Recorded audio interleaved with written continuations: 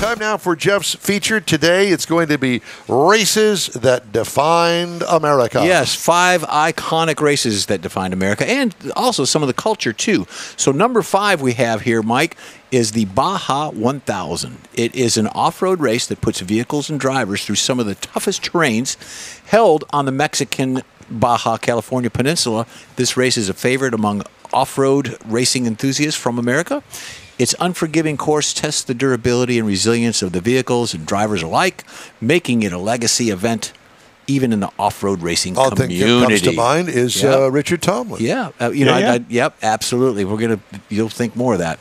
So the number four would be the Pikes Peak International Hill Climb. Hello, uh, the International Hill Climb, also known as Don, the Race to the Clouds, Oh, which hell you were no, on. There's no damn race in talked my about mind. that, Yeah, It's white knuckle race. That's what it yeah. is. It's a unique challenge in the world of motorsports. Competitors race up a steep That and winding bad. Yeah, Pikes I got Peak in I got Colorado. off on my timing. Uh oh. Facing the time, uh, facing the thinning air and the high altitudes, this race has been a proving ground for both conventional and electric vehicles, showcasing an evolving landscape of the automotive technology.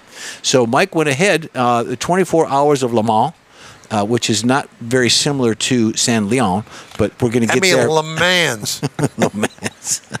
While not based in the U.S., the influence of the 24 hour race on American motorsports cannot be overstated. American teams and drivers have a long history of participation and success in this endurance race. If you remember the Ford GT40s, victory over Ferrari oh in the yeah, 60s. that was Le Mans. Yeah, the tale of American ingenuity and rivalry, and still inspires automotive enthusiasts and professionals alike to this day. Then you got the Daytona 500. Hoo-wee. Known as the Great American Race, the Daytona 500 in NASCAR, most prestigious event. Since its inception, Mike, in 1959, it's been held at the Daytona International Speedway in Florida. This race is synonymous with high octane excitement and has been the most dramatic finishes in NASCAR history.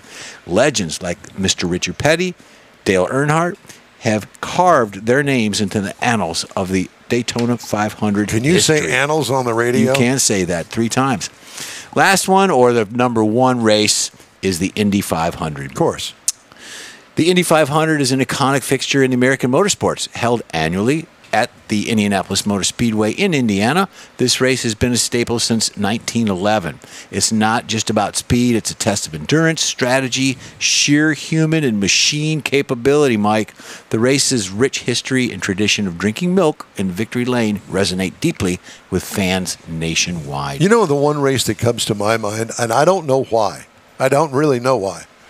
Is a NASCAR race at Riverside, California. Oh, yeah. That road race at Riverside, California, always sticks out on my mind. They had some horrific wrecks out there, but it was out basically in the countryside back in the day, and I.